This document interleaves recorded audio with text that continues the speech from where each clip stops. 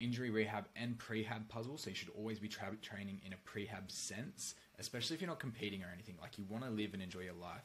Trust me, I've been going through back injuries my last two uh, two years. Uh, due to ego, not gonna lie, I tried to keep up with the big boys at the CrossFit gym and just blew my back out. And it's been very frustrating in the return. So I want you guys to learn from my lesson and realize you need to mobilize what's tight. You need to activate what's loose. So usually, whatever you're mobilizing, the other side or the opposite muscle is going to be not quite used to doing the work. So you need to switch it on before you get stuck into exercising. Your core needs to work. So your core connects your top to your bottom. Once you're connecting your top to your bottom, you'll find that that power transition from the floor to your upper body uh, improves significantly and your spine's going to be ready for training.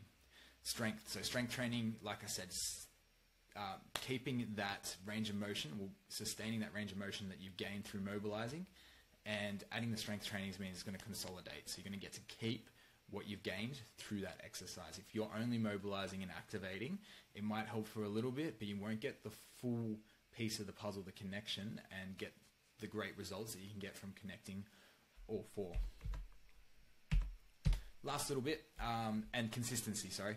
Consistency over time. You can't turn up for four weeks and expect a miracle. It's not a, there's almost no such thing as miracle in life when it comes to your body.